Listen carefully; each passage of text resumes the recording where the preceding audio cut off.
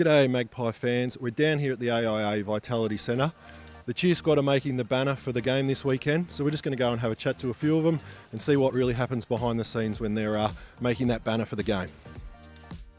Now, here we go. I think what we've got here is a fairly important job. Can you just take us through what you're what you're doing here? Um, I'm just making up the letters that we use to place on the banner.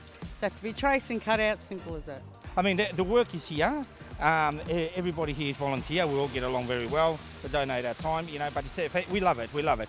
The banner I love making the most is the Anzac Day banner. Oh, look, the, the one um, that was a hidden message that it was a throw. I thought that was a ripper. KFC is one of our great partners. Um, Favourite burger from KFC? Oh, have to be uh, going to be the zinger every day of the week. Oh, it has to be the zinger as well. Classic favourite. Favourite burger from KFC? Original.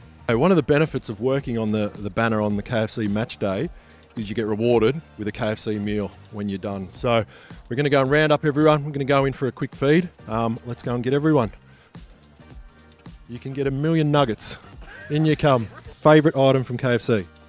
Oh, probably the chips. Wicked Wings? Wicked Wings. I've got two for Wicked Wings. Perfect, perfect. Okay, so we've had an inside look at the banner making. Um, the guys are enjoying their, their food. Once they've eaten, we're going to go back out, finish off the banner, ready for the game. But in the meantime, I'm going to go and sneak myself a couple of nuggets. Thanks, guys, and go Pies.